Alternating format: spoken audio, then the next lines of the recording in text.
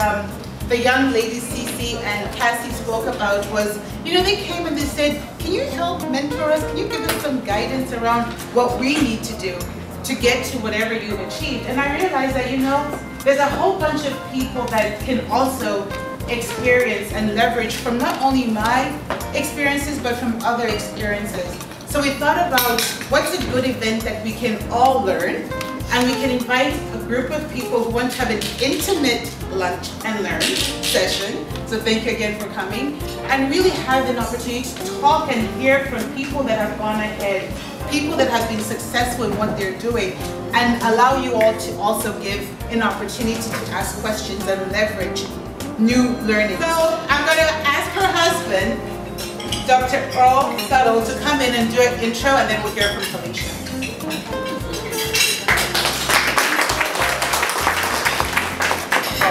Frida. Just give Frida a hand. She's unbelievable. She's a make things happen person. I, I want you right now to uh, give her a warm, warm Zambia applause.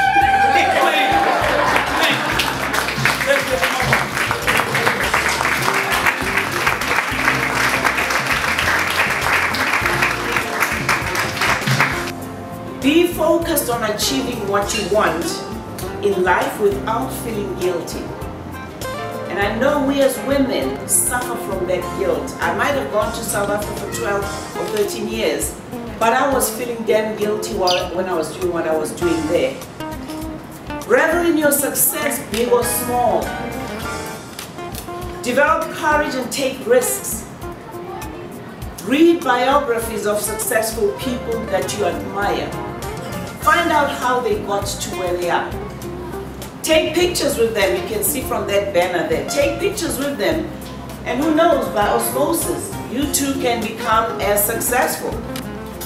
I've got a couple of books to share with you that you should at least do yourself a favor and read. In fact, I offered my daughter, I said, you read this book and I will pay you to read it.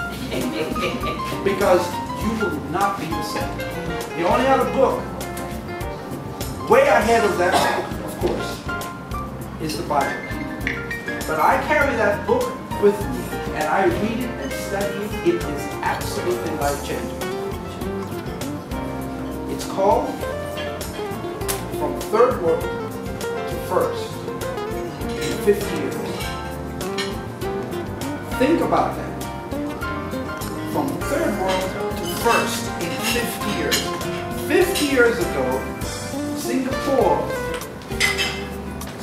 economy was on with Zambia's economy. Singapore today has one of the highest per capita incomes in the world.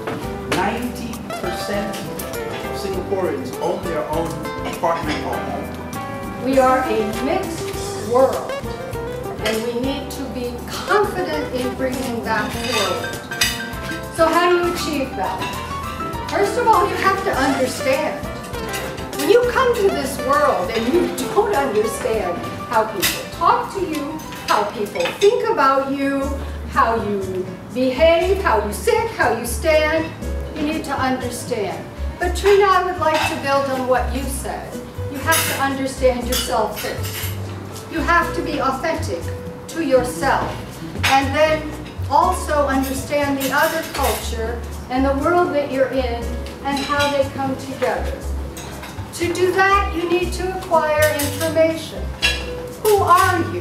What are your values, your principles, those things that you won't let go of? But also, on the other side, what are the values and principles and ways of operating and behaving in the world that you have come into?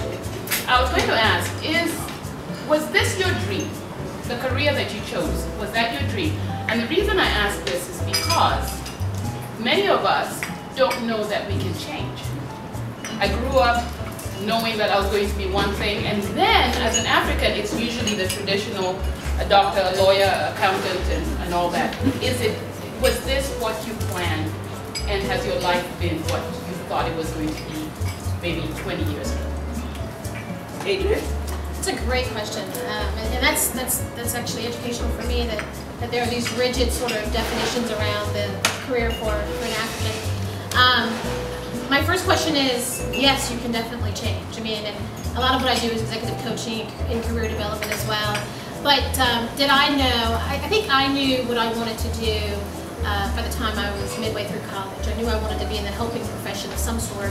Um, and um, I minored in psychology. I mean, I majored in psychology, minored in business, and so wanted to somehow find a fit. And so ended up figuring it all out with, with probably as I probably around the time that I entered my senior year of college. But if I hadn't become an organizational psychologist, I would have been a clinical psychologist. So I think early on I knew I wanted to do something to help others, but I think it all sort of came together towards my, my final year in college. Right? But I really, really, really appreciate you all coming here. I want to say thank you to uh, my brothers who are here that have been that, that have been able to pull up together the um, step and repeat the books, and especially for each of you that have made taken time out of your day to come and be here with us. I want to thank you again very much.